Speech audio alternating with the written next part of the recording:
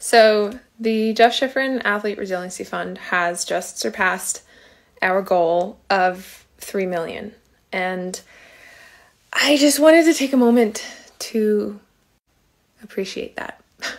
I think that it was obvious from the start that this project was going to mean more than just another fundraiser, but when we started out, I actually didn't realize just how much it was going to take on its own life and its own meaning for so many people.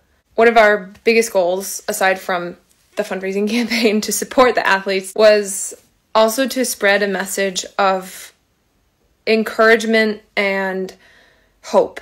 And in my wildest dreams, I still didn't think that that message would take hold as strongly as it did. And I want to thank all of the athletes and all of my teammates for sharing your stories of resilience and helping to spread this message. US Ski and Snowboard and the donor families for working so tirelessly to make this fund a reality. And I also want to thank everybody who donated, supported, encouraged the fund, and shared your own stories. It has been the most heartwarming thing to see all the feedback and to hear your stories that's helped me. My dad would have been so proud of this and even more excited to see so many athletes across all of US ski and snowboard having such a strong start to the season. It's pretty incredible to see and yeah, thank you.